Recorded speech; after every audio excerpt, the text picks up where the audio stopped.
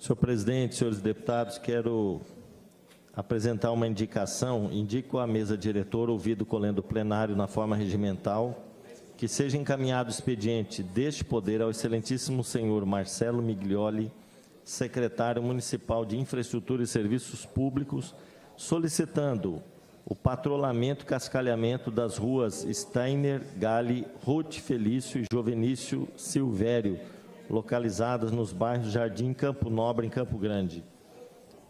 Justificativa. Moradores do bairro Jardim Campo Nobre buscaram nosso gabinete relatando que a Prefeitura Municipal de Campo Grande realizou o patrulhamento, cascalhamento nas vias do entorno das ruas Steiner, Gale, Ruth Felício e Jovenício Silvério, deixando apenas essas sem a realização do serviço.